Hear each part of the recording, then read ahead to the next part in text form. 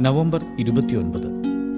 വിശുദ്ധ സർത്തോണിനൂസ് ഇരുന്നൂറ്റി നാൽപ്പത്തിയഞ്ചിൽ ഫാബിയൻ മാർപ്പാപ്പ സത്തൂർണിനൂസിനെ വേദപ്രചാരത്തിനായി ഫ്രാൻസിലേക്ക് അയച്ച നാൾ മുതലുള്ള സത്തൂർണിനൂസിന്റെ ചരിത്രം മാത്രമാണ് ലഭ്യമായിട്ടുള്ളത്. ഇരുന്നൂറ്റി അൻപതിൽ ഡേഷ്യസും ഗ്രാത്തൂസും കോൺസുൽമാരായിരിക്കുമ്പോൾ വിശുദ്ധ സത്തൂർണിനൂസ് ടുളൂസിൽ മെത്രാൻ സ്ഥാനം ഉറപ്പിച്ചു. നിരവധി ആളുകളെ അദ്ദേഹം മാനസാന്തരപ്പെടുത്തി. കാപ്പിറ്റോൾ എന്ന ക്ഷേത്രത്തിനും വിശുദ്ധന്റെ താമസ സ്ഥലത്തിനും മധ്യേ ഉണ്ടായിരുന്ന ഒരു ചെറിയ ദേവാലയത്തിൽ വിശ്വാസികൾ ഒത്തുചേർന്നിരുന്നു. കാപ്പിറ്റോൾ ക്ഷേത്രത്തിൽ ദേവന്മാർ പ്രവചിക്കാറുണ്ടായിരുന്നത്രേ.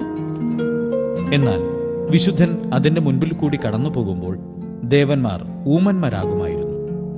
പൂജാരികൾ ഒളിച്ചിരുന്ന് ആരാണ് ആ അത്ഭുത പ്രവർത്തകനെന്ന് കണ്ടുപിടിച്ചു. ക്ഷേത്രത്തിലേക്ക് അദ്ദേഹത്തെ വലിച്ചിഴച്ചു കൊണ്ടുപോകുന്നു ഒന്നുകിൽ അദ്ദേഹം നിന്ദിതരായ ദേവന്മാർക്ക് ബലി ചെയ്യണം അല്ലെങ്കിൽ അദ്ദേഹത്തെ ബലി ചെയ്യണമെന്നായി പൂജാരികൾ. ഞാൻ ഏകദൈവത്തെ മാത്രമേ ആരാധിക്കുകയുള്ളൂ. അവിടത്തേക്ക് ഞാൻ സ്തുതികളുടെ ബലികൾ അർപ്പിക്കും. നിങ്ങളുടെ ദേവന്മാർ പിശാചുക്കളാണ്. അവർക്ക് നിങ്ങളുടെ കാളകളെക്കാൾ നിങ്ങളുടെ ആത്മാക്കളെയാണ് ഇഷ്ടം. സത്തുർണിനോസ് മറുപടി പറഞ്ഞു. കുപിതരായ പൂജാരികൾ അദ്ദേഹത്തെ പലവിധത്തിൽ മർദ്ദിച്ച ശേഷം ഒരു കാളയുടെ കാലിൽ കെട്ടിയിട്ട് കാളയെ ഓടിച്ചു.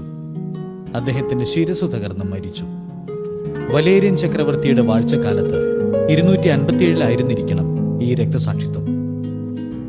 പ്രാർത്ഥന.